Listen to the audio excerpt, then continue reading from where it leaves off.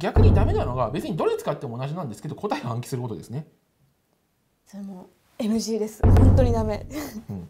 はい。同じ文章出ないしね、うん、もうそれだけはダメだと。武田塾チャンネ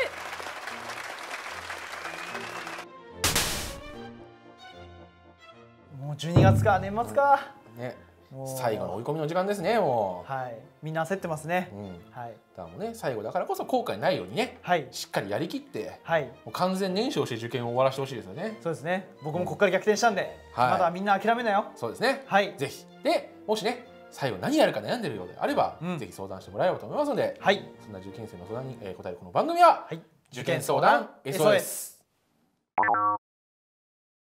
宮先生、はい、今回の質問ですか？はい、今回の質問は、うん、えー、筑波大あ筑波大志望、うん、えー、理系の浪人生です。はいはい。武田塾に通わせていただいています。おお、塾生。うん、はい。で現在英語長文の参考書一冊もやっていません。やばいな。やばいですね。そのせいか、はい、このこの間の河合のセンタープレ、うん、えー、英語の筆記が、えー、200点中78点。やばいね。うん、で、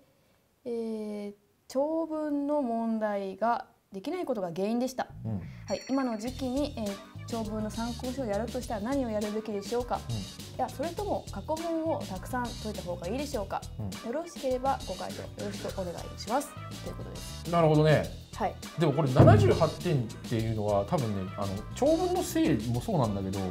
長文以前の状況の気も知るなくもないんだよねそうですね、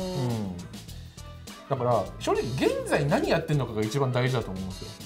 そうですよね、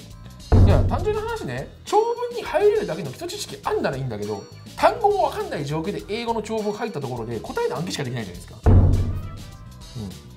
基礎がないという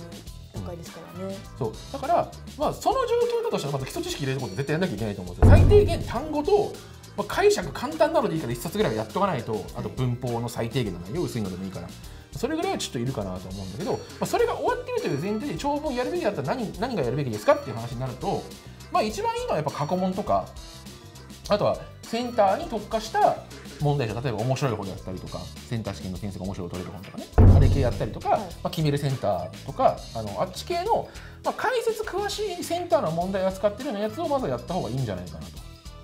センターに特化するのはね、はい、まあ筑波志望っていうことなんでまずセンター突破しないと話にならないんで、まあ、やっぱそこからかなっていうふうには思いますね。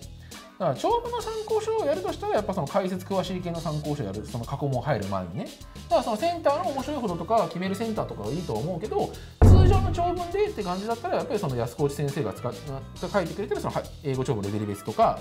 あのハイパートレーニングとか、はい、まあ、あとあのポラリスとかね最近出たやつだと、ああいうのは解説詳しいんであの辺やっていくと、まあ、いいんじゃないかなと、まあ、センターぐらいのレベルとかそうもうちょっと簡単なやつとかね。っていうのをやっていくといいんじゃないかなっていうふうに思いますね。うん、あとはその台も縦に切って第3第1問なら第1問第2問第2問で縦にこう対策していくっていうのがまあ重要かなと思うんで例えば決めるセンターをやったらその第何問の決めるセンターの部分をやったらとか面白いことの部分をやったらその第3問の過去問とか実践問題集だけをここ例えば5回分ぐらい連続でバーってやるみたいな感じで、コツを掴んで1個ずつ潰していくっていうのがいいんだけど一気に全部解決しようとしない、はい、縦にやるのね。縦にやるのがいいと、うん、はい。ですね。やっぱコツとしては、まずセンターだとやっぱ時間内に終わんなきゃっていうのがあるので読むスピードを上げるっていう勉強、まあ、シャドーイングとかですね。っていうのをやってってセンターの形式に合わせた対策をまず中心に。まあ本当はやっぱ総合力つけてどんな形式ででも対応できるようにした方がいいとは思うんだけど傾向変わることもあるからね。だけど物理的な時間がっていう感じだとしたらまずやっぱセンターの形式に合わせた対策から優先的にやるのがいいんじゃないかなと。うん、はい、ですね。まあ、とりあえずそういった形でも全力でね頑張ってもらえればと思います。そうですね。武田塾も全力でサポート、ね、通ってる校舎どこなのかちょっとわかんないけど、ね、その校舎の先生方もね全力でサポートしてくれると思うんで、はい、しっかり頑張ってください。頑張ってください。はい。はい、今回はです。武田塾では全国の校舎で受験相談受け付けております。お申し込みこちらから最寄りの校舎探してみてください。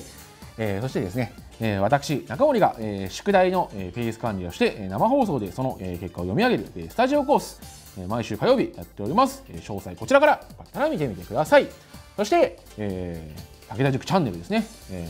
ー、チャンネル登録募集しております。よかったら、えー、登録をお願いします。